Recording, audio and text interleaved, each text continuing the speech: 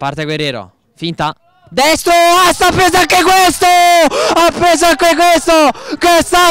Era la stagione 2018-2019 quando il Serino annunciò l'arrivo di un estremo difensore venuto da lontano, dal Senegal, con precisione. Dia As, ora è tornato in Irpini a Castelfranci per difendere i pali della polisportiva di mister Ciro Tropeano. Sempre attento, vola come un gatto ricordando Megnan del Milan.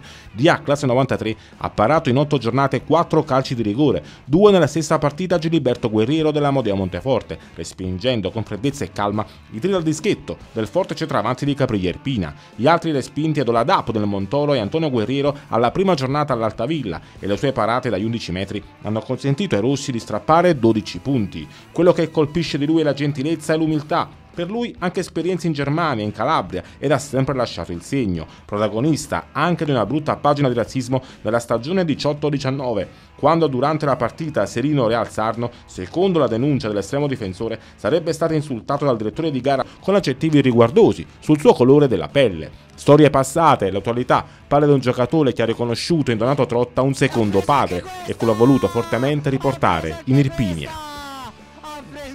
Chi dedichi questi rigori parati? Eh, Donato Trotta, eh, è come mio padre, capito?